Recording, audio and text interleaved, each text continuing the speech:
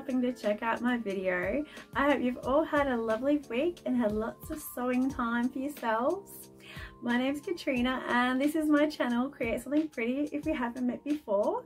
And there were lots of new subscribers last week so thank you so much for stopping and hitting that button. I really appreciate you being here. And everyone who's left comments on my last video um, I love seeing your names down below. Thank you so much for taking the time to have a little chat with me so I really appreciate that so today's video is my June July makes uh, I hope you'll enjoy what I have to show you today. I made seven items in the last two months. Unfortunately, I can't show you one of them because it was a uh, pattern test and it hasn't been released just yet. So it's a bit unfortunate, but I'm sure it won't be long now. So um, I'm going to show you the patterns that I use to make these items and then I'll show you the items and um, hopefully you enjoy what I have. So the first item, I'm actually wearing it. This is a Tilly and the Buttons Agnes tee. Um, I made this, um, it was either very late in May or June, so I included it anyway. I, um, this was actually the second one that I've made, um, and I made a few adjustments to the pattern. So I'll show you the pattern first. So this is the Agnes tee by Tilly, Tilly and the Buttons. It has that lovely scoop neck. It has a couple of sleeve options as well. Um, it has, I'll show you some more line drawings. So it has this different length sleeves. It has one with ruching at the shoulders and then it has the scoop neck or the, um, it's like a ruching at the neck to create like a sweetheart neckline. And it is quite a fitted bodice. However, it is um, a very size inclusive pattern. So if you wanted to grade out, not to show bits of you that you don't like, you prefer people not to see, you can always grade out to try and hide that, which is what I've actually done. It's quite a fitted silhouette. So what I did, I graded out quite a few sizes at my waist and then um, I actually graded out a bit for my hips as well, which I don't think I needed to do.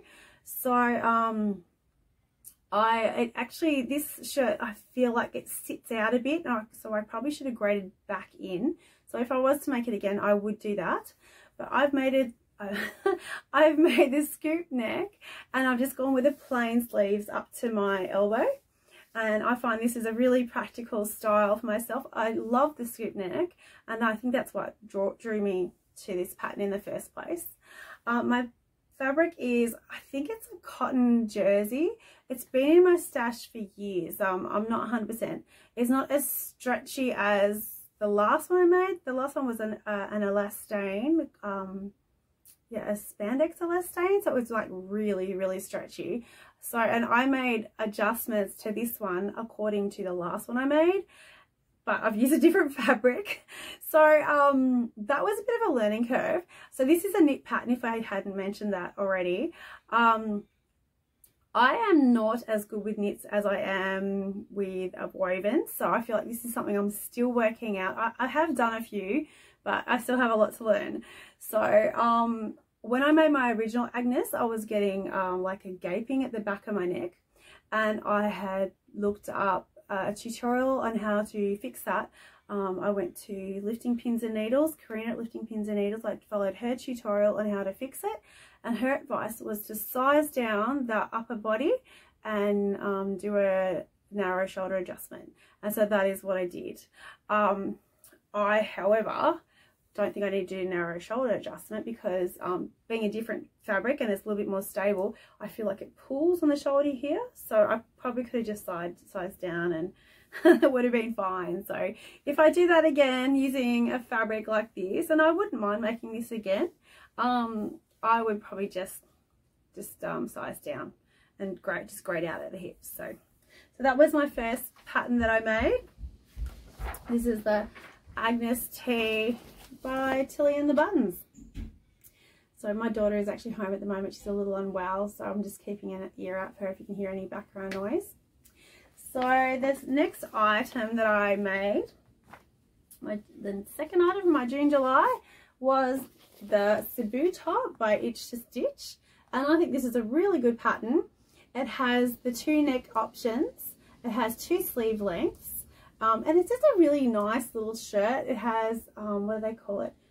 Uh, I actually wrote down the name of the sleeve so I can tell you. The sleeve is called, it's a batwing top. Um, so the sleeve and the body is all one piece and it just is finished with a cuff. So it's really easy to make. It's uh, got a band on the bottom, a band at the neck, and the sleeves are finished with a little a cuff here. Uh, so it's really, really easy, make nice and quick. There is an option as well to put in lace or a different um, fabric at the shoulders. But I was actually intending to do this one with a cowl, but um, I didn't get enough fabric. so that was the end of that idea. So I just made the this version, but with just a plain neck like this one. And my item is this one. This is what I came up with. I'll make sure I insert a photo of myself wearing it. Um, this is, I used a rib jersey. It's actually a brushed rib jersey from Spotlight. Um, the fabric is very stretchy. It is also, I'll see if I can show you the inside of it it has that brushed finish to it. It's quite beautiful. It is beautiful to wear. However, it, it's very, very stretchy. And I did actually size down because it was so stretchy. But it was just really, really hard to work with. And I found it was just stretching out all over the place. Um, I did end up stabilizing the neckband. Um, it's fully stabled, stabilized. Um, I just, I was not pleased with how it sewed up. The hemband is all, I've actually redone this. When I first did the hemband, it was really, really, um, it was just so wavy I wouldn't have worn it. So I've redone it. It, it is better, but I'm still not 100% happy with it. And um, I have worn this, so it's a little bit, it's, yeah, I was wearing it yesterday. so it's probably due for a wash soon. but it's a super comfy top. It's really nice to wear. And um, if I could figure out how to work with this fabric, I would probably try it again. So um, it's, I love the color. I just love that sort of blue muted sort of tone. And um, it's the style of this shirt, like the pattern is really good. So I would like to make it again. It would be a really quick, um, a really quick shirt to make if you use a more stable fabric than what I did. So that's the Sibiu top. This is the Sibiu top by Itch to Stitch. And I think if I'm, I would like to make it again. I would really like to make the cowl version. And um, now that I have actually made this version without the cowl, oh, I wouldn't mind doing that as well. So maybe next year when I have a bit more time, um, I would make that again. But I feel like the weather's warming up a bit too much to be doing winter sewing at the moment. So something for next year. so so the second item I made for June, July 2023 was the Marlo cardigan. Now this is an oversized cardigan with a drop sleeve and has the two length options and the longer option has the patch pockets. I made this version and I'll show you what I made. This is the one that I made and I love it. this was so fun to sew. Um, this is really popular on Instagram. There's lots of people have made it. And I just really wanted to try it. I just like this sim how simple the sleeves were. Um, I think it was sort of more everyday, more versatile for my lifestyle. And I love the oversized buttons. I think this is beautiful. And the fabric I use is a very soft, um, sort of a knitted sort of fabric. Um, it's from Spotlight. Yeah, I really, really love this, this uh, cardigan. I would like to make another one. I want to make the longer version next time. And I have fabric that I can do that with. So um, hopefully I'll get time to do that in the next couple of months. So that's the Marlo cardigan by True Bias. And um, yeah, it's a great pattern. I really like this one. I really enjoyed sewing it, um, yeah, sewing up. I don't think I made any adjustments other than size down. Um, I did look on Instagram and had a look at to see what everyone else did when they made theirs before I made my own. And most people, or a couple of people sized down. So, and even just by looking at people, I could sort of tell how it was fitting them. So yeah, I decided to size down for myself. So that is the Marlo cardigan by True Bias. and hopefully I have photos in of myself wearing that one. so, so the next item that I made for June, July was the All In Easy Fit shirt by Pattern Emporium. And I could talk about this one all day. this is a great pattern. Um, I love it. Um, it has two collar options. It has a stand collar or just a plain collar. It has, I think it was like five or six sleeve options. Um, I ended up doing the stand-up collar and the proper shirt sleeves with the cuff and the buttons. Um, I made this as uh, so I could learn how to do that style of collar because I had never done that before. Uh, so yeah, this was a learning, like a skill building pattern and that's the whole reason I made it, except for I also did need shirts. so I'll show you what I made. And this is my shirt. I have worn this a little bit, but not to the point that I need to wash it just yet. I kind of wear it throughout the day and then I'll take it off. So it hasn't really been properly worn. So it's, it's a little bit wrinkly. I probably should have ironed it before coming here um, but I have um, it has the the um, the stand-up collar um, so that was fairly easy to do it was a lot easier than what I expected it to be um, it has the buttons on the front and the buttons only go they only start about here and I think that eliminates um, trying to put a button in the stand-up collar which I think would be really quite tricky so it does make it much easier to make um, it has and this is um the the button band is done all in one piece where you fold it back. I really like patterns that do that. It makes it so much easier. And I have the cuff, the cuff. I have the cuff with the button. Um, see if I can show you that a bit better. Um, it has the lovely pleats at the side as well. I did take length off the sleeves and uh, in hindsight I probably didn't need to. I think they're a little bit short now. Uh, I do tend to just roll them roll them up and wear it as a layering piece. So I have worn this a little bit. Um, my uh, it also has the um, box pleat at the back and it has top stitching on the yoke and yeah it's um it's a really good shirt I would make this again um, I would like to make it in something a different color this time a um, little bit bit lighter for the summer but yeah, this is, it's a really good pattern. I really recommend if you want to make a shirt and you haven't done it before, this is a great one to start with. Um, I think the only adjustments I made was to remove the length in the sleeve and I think that was it. That's everything.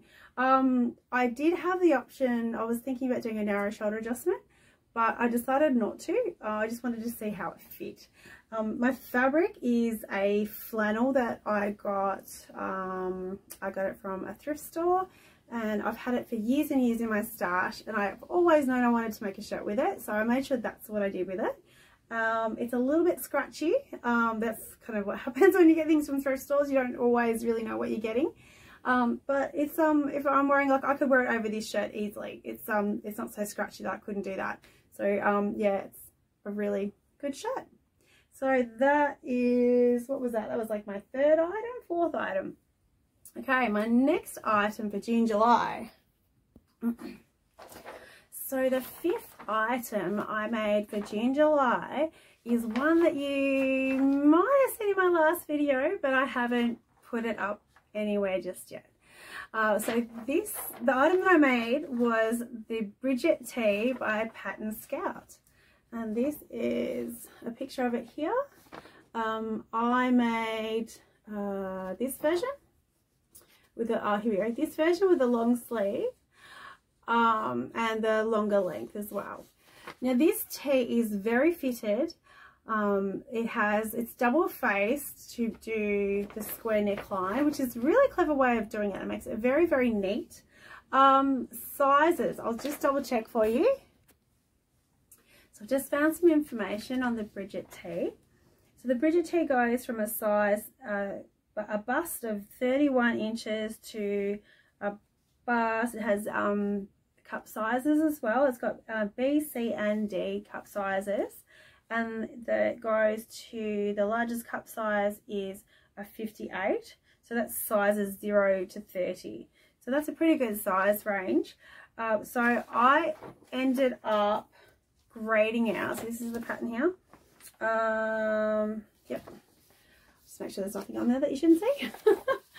um, so I ended up grading out to, uh, at the waist because it is a very fitted tee.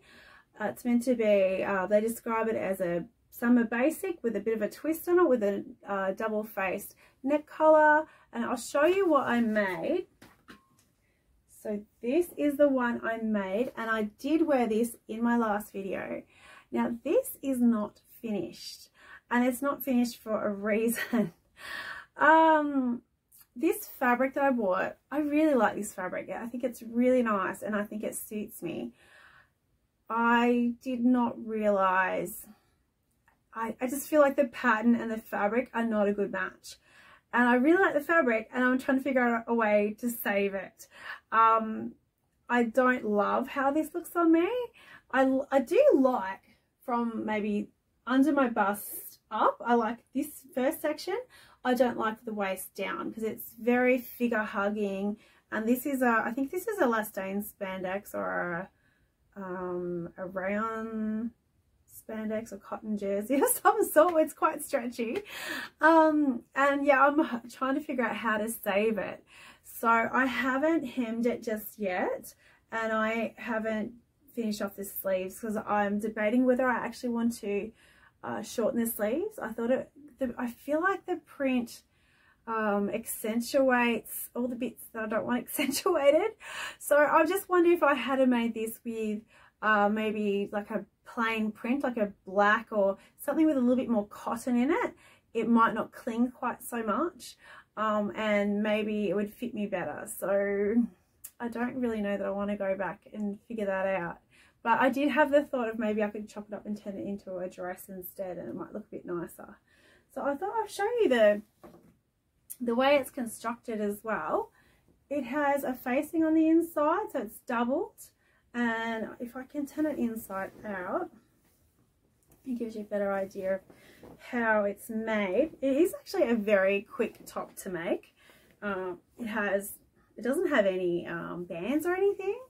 And it's just um, double face to get the nice square neckline it's a lot more simple than what you would think and it was quite easy to fit this I don't didn't make any fit adjustments other than grading out at the waist so that is my Brigit tee. Um, it is, I guess it's still a work in progress, but I did make it in July.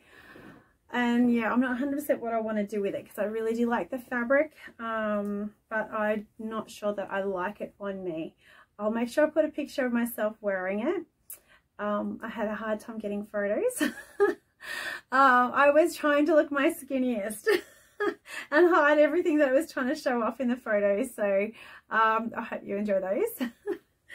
so the last item that I made for June, July, I had originally planned at the start of the month that I was going to make a whole heap of winter things and jackets and coats and um, just really warm things. But a lot of that is uh, that I wanted to make was using quite plain sort of fabrics and I was getting bored. So I I was watching a video, uh, a YouTuber that was new to me at the time. I think her name's Tanya. Tanya, I'll put a name on the, um, this, I'll put her YouTube channel on the screen and I'll see if I can link it down below as well. I really liked her channel. I'd, first time I'd seen it and she was wearing this beautiful top and I was wondering what on earth is that top? It's absolutely beautiful. I want to make that. So and it turns out I had the pattern and probably half of you have the pattern as well. I ended up making this one. It's the Anthea blouse Anna Allen. I stopped everything then and there and I went and traced out the pattern and got it all set to make. So I have made it. I'll show you what I've come up with. So um, I've made one copy of it and I wanted to trial the because I normally have to do uh, broad shoulder adjustment, narrow shoulder adjustment. I wanted to see how it fit me and so I used a fabric that wouldn't be devastating if it didn't turn out right, if it didn't fit correctly. So this is what I came up with. This is my Anthea blouse. Um, this is one of those fabrics. This actually looks a lot better on than it does on the hanger. I, I find this, it just looks very, very busy and I would like to make it in something a lot more simple than what this is. Um, I love how it fits though. I think it looks so nice on. Um, hopefully I've got some pictures in there. I did take quite a few pictures of myself wearing this one. Um, the lighting was not great that day. It's been very bright outside. Um, a little bit windy um, and very, very chilly. So um, I got the photos I could get. And I just think it's a beautiful shirt. I love that the sleeves are beautiful and puffy. Um, I actually made my sleeves. So I did end up making the sleeves smaller centimetre out of the middle of the sleeve piece to get the whole sleeve out of my the width of my fabric. And it didn't really affect the sleeves too much that I can tell. Oh and you'll notice there are no buttons. Um what I did go shopping for buttons the other day and I couldn't find anything that I liked. And also I am using um, this machine behind me this is my spare sewing machine. It's about 20 years old um, my current machine is in getting serviced and I have just discovered that this will not do buttonholes. it's got something, I don't know, something's wrong with it. It doesn't, it kind of seems to tilt the, uh, the foot when it gets to a certain point. So I don't know what I'm doing wrong. I've had several goes and I didn't want to wreck it because it's, it's my backup machine. I don't want to break it before my other machine is ready to come home with me. so that is everything that I made for June, July. I hope you enjoyed seeing that today. So this weekend coming, this is my birthday weekend. so next week I'm hoping to show you uh, if there's anything that I get for my birthday that is sewing related, I will show you that. I also have been, um, I've bought quite a few patterns and there's some of them that I'm just hanging to make. I can't wait. Some beautiful patterns coming out. So I will show you everything that I purchased in the last few months and anything I haven't shown you. Um, so hang out for that one in my next my next video. And um, I also have some hyatt, I can't say it now, hyacinths, hyacinths. hey, oh, they're bulb flowers, they're absolutely beautiful. Um, I was walking at my garden yesterday and I noticed a lot of them are actually coming up and they look a lot fuller. So I'll, I thought I might include a little pic of those in at the end and um, so you can have a quick look at my garden. So I hope you enjoyed that today. Um, if you did like it, I would really appreciate it if you could give me a thumbs up. Um, and if you want to see more from me, um, please hit the subscribe button. And if you want to know when my uh, video is coming out next time and um, be notified of that, hit the notification bell um, and it will let you know when my next video is out. So thank you so much for joining me today. Um, I hope you enjoyed that and I will see you next week. Thanks for watching. Bye.